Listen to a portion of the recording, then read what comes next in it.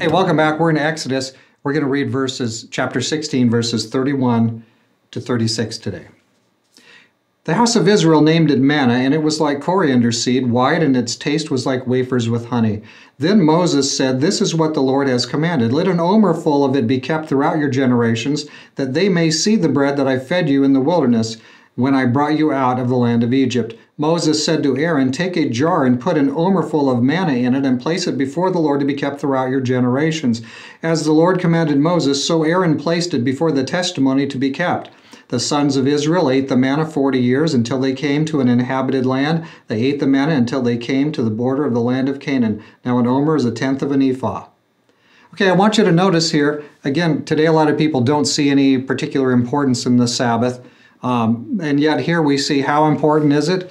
Besides, we've just spent basically the whole chapter on it. This is so important. Notice this. Did you miss it? Moses instructed him take some of this manna, put it in a jar. Remember, we mentioned there were three miracles that were done, uh, all for every week. There was a Sabbath miracle, right?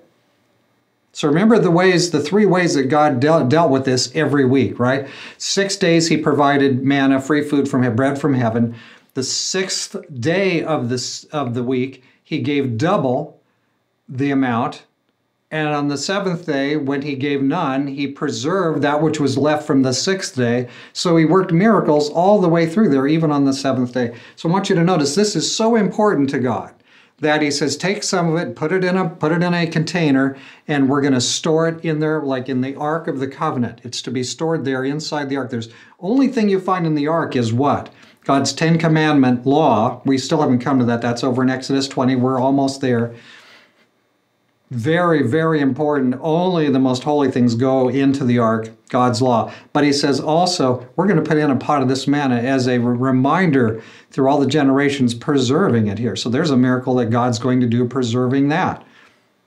But I want you to see how important the Sabbath is that God has taken all these measures, that He's giving them a Sabbath training, and it's going to go on for about 40 years. Because He's changing them from slave think to faith think, all right? And so a lot of times we only come part way out of Egypt, but God wants us to come all the way. So He wants us to, to get rid of that slave think. Slave think says, I'm going to work it out my way. I'll worship God on my terms. God says, No, you worship me on my terms and and you'll find out it's just just lots better. so now, by the way, verse 35 uh, and 36 probably written a little bit later, still inspired, but but most of this is happening within a period of weeks after they've left Egypt.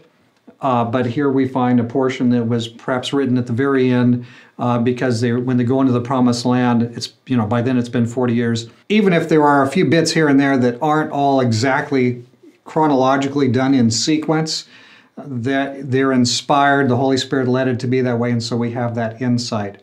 And so here we have kind of a summary note here at the end of this segment.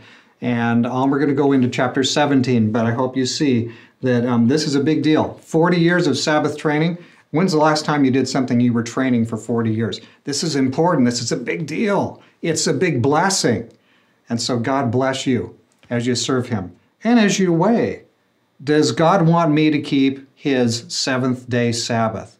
Is there a blessing that I need that I'm missing that's part of Christianity, that's a part of a Bible faith? Think about it. God bless you. See you tomorrow morning.